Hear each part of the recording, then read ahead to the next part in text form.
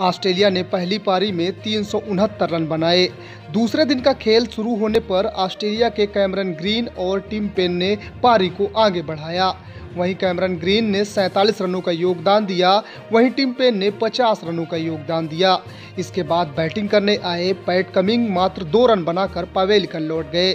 इसके बाद ऑस्ट्रेलिया के स्टार गेंदबाज मिचेल स्टार्क बैटिंग करने आए। इन्होंने अपनी टीम के लिए 20 रनों का योगदान दिया।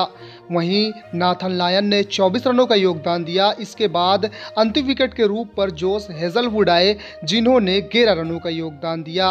और इस प्रकार से ऑस्ट्रेलिया की पहली पारी तीन सौ उनहत्तर रन पर ऑल आउट हो गई। वहीं अगर बात की जाए भारत की गेंदबाजी की तो मोहम्मद सिराज ने 28 ओवर में 77 रन देकर एक विकेट झटका।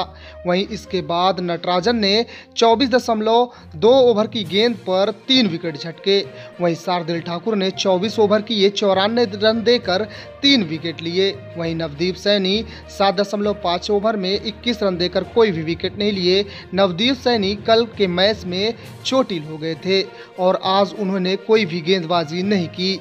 वहीं वास्टिंगन सुंदर ने 31 ओवर फेंके और तीन विकेट लिए और इस प्रकार से ऑस्ट्रेलिया की पहली पारी तीन रन पर ऑल आउट हो गई।